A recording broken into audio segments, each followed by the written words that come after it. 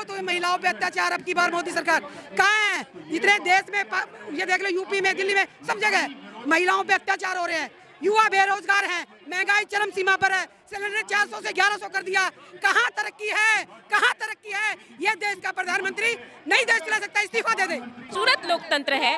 उसकी खूबसूरती की हत्या करने का प्रयास भारतीय जनता पार्टी के द्वारा किया जाता रहा है। वो खुद करप्ट है पूरी पार्टी करप्ट है। पार्टी करप्ट है। पार्टी करप्ट है प्रधानमंत्री करप्ट है उनका पूरा पूरा मंत्रिमंडल करप्ट है। कभी राम के नाम पर कभी गाय के नाम पर कभी मंदिर के नाम पे कभी भी इन चीज़ों के नाम पर वोट मांगते लेकिन करते कुछ नहीं। और बड़ी बड़ी धरोहर थी वो बेच दी। तो ये कैसा प्रधानमंत्री है? पहले की सरकारों ने बनाए थे और ये अडानी और अंबानी का टट्टू है उनको बेचता जा रहा है एक एक चीज़ों को। जनतंत्र को बचाना है लोकतंत्र को बचाना है जो आज सत्ता में बैठे लोग। मैं एक छोटा सा सवाल पूछना चाहती हूँ। क्या बीजेपी के एमएलए बीजेपी के पार्षद बीजेपी के सांसद उनके ऊपर किसी के ऊपर कोई केस नहीं है? वो उन जो उनके ऊपर जो केस है उन पर तो सजा सुनाए उनको तो जेल में बंद करे उनकी सदस्यता कैंसिल करें।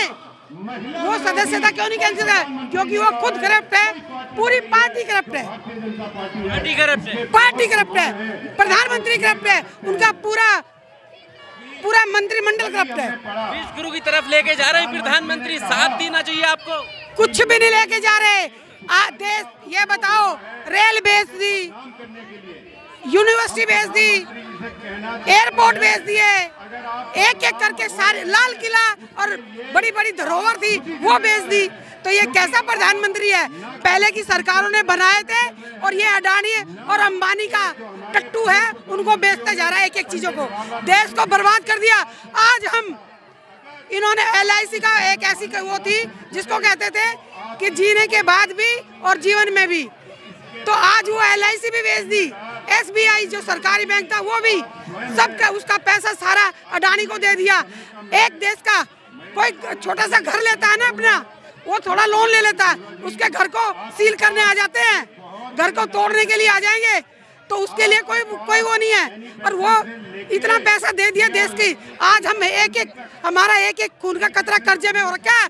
देश इतना कर्जे में जा चुका है। उनको अडानी अमानी को पैसे देके और माफ़ पर हैं उनको भगाते हैं भगोड़ों को और हमें कर्जे में डुबोते जा रहे हैं। हम सवाल, राहुल गांधी ने एक सवाल ही तो पूछना चाहा था कि जो सत्ता में बैठी सरकार है, उनसे एक सवाल पूछना था कि जो अडानी का, जो एलआईसी का और एस का पैसा है, उसका, उसी के बारे में जवाब तो मांग रहे थे, क्योंकि उनके पास जवाब नहीं है, वो करप्ट है। इसलिए उनकी सदस्यता कैंसिल करी, इसलिए उनकी इनकी, इसलिए उनको सजा सिलाएगी कम से कम एक घंटे की एक दिन की सजा होती है और ज़्यादा से ज़्यादा दो साल की होती है। उन्होंने सीधा दो साल की सजा दी। ये सब मिले हुए हैं। राहुल गांधी कह रहे हैं, उनको सत्ता का लालच नहीं है। सत्ता का लालच होता ना तो वो दो साल प्रधानमंत्री बन जाते। उन्होंने मनमोहन सिंह को प्रधानमंत्री बनाया। उनको सत्ता का लालच नहीं है। उनको देश की तकलीफ़ है। देश की जनता की तकलीफ़ है। वो उसके यहाँ पे चुपती है। जो बीजेपी के जब आए थे, कहते थे ना बहुत हुए महिलाओं पे अत्याचार अब की बार मोदी सरकार। कहाँ है? इतने देश में ये देख लो, यूपी में, दिल्ली में, सब जगह महिलाओं पे अत्याचार हो रहे हैं।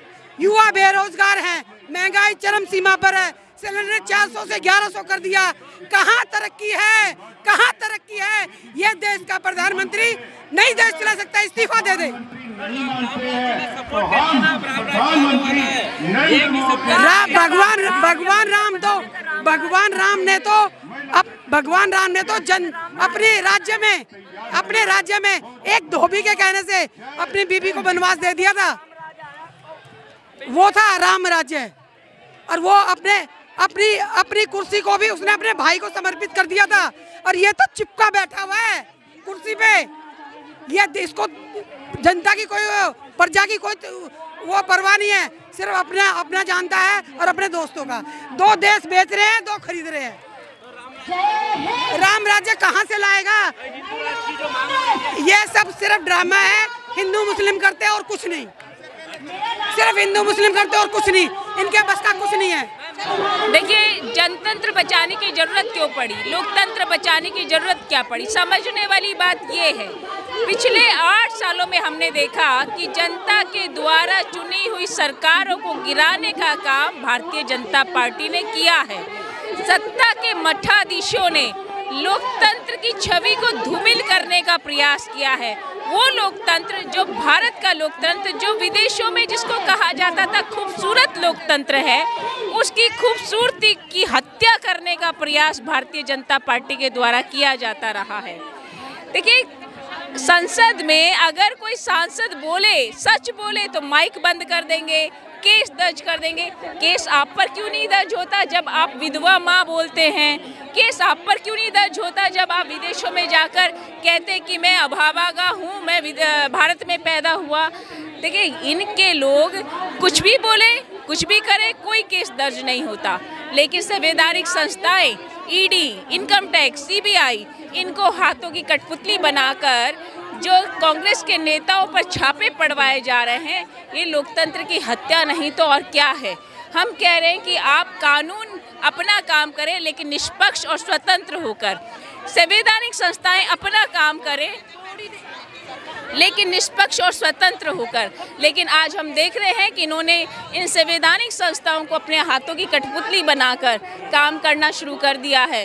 संसद में सच बोलने नहीं दिया जाता लेकिन ये जनता जनार्दन है। सच बोलेगी आप सच की आवाज़ को दबा नहीं पाएँगे। वापसी हो पाएगी? सदन में आएँगे या आठ साल के लिए देखिए हमें उस पर जाना ही नहीं है कि संसद में वापसी हो या ना हो लेकिन जनता आपकी झूठ भरे छल कपट इनको समझ चुकी है। समझ चुकी है जनता कि आप वोट की राजनीति करते हैं। आप वोटों की राजनीति के लिए सांप्रदायिक दंगे भड़काते हैं।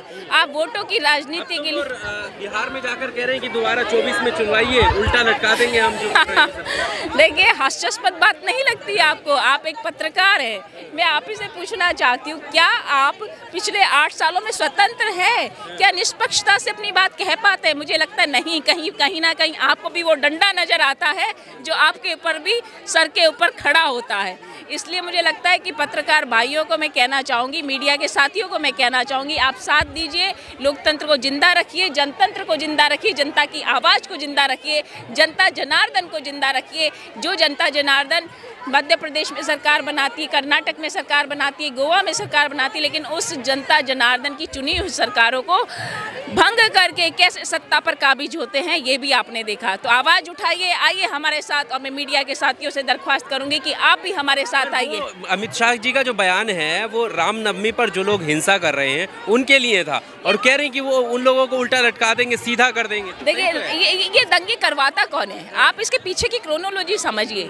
जैसे जैसे चुनाव पास में आएँगे अभी तो एक नहीं बहुत से दंगे होंगे क्योंकि ये धर्म के नाम पर राजनीति करते हैं। ये धर्म के नाम पर आपकी भावनाओं के साथ ब्लैकमेल करके, आपकी इमोशनल ब्लैकमेल करके मैं नाम दूँगी इसको। इमोशनल ब्लैकमेल करके आपसे वोट हासिल करना चाहते हैं, लेकिन जनता जनार्दन अब समझ गई है कि कब तक हम भावनात्मक ब्लैकमेलिंग हमें किया जाता रहेगा। हम अब उन भावनाओं में, उन धार्मिक उन्माद में नहीं फंसेंगे, क्योंकि ये लोग कभी राम के नाम पर, कभी गाय के नाम पर, कभी मंदिर के नाम पर कभी भी इन चीज़ों के नाम पर वोट मांगते हैं, लेकिन करते कुछ नहीं। चौबीस में क्या तैयारी है? चौबीस में आप स्वयं मीडिया पत्रकार बंधु है यहाँ जनता जनार्दन का जो सैलाब उमड़ रहा है जो जनता की भावनाएँ हैं जो जनता को समझ में आने लगा है कि हम ठगे गए हैं हम छले गए हैं हम झूठ और फरेब के जाल में फंसे गए हैं तो अब हम इस झूठ और फरेब के जाल में फंसने वाले नहीं हैं। चलिए ठीक है। Subscribe now and press the bell icon never miss an update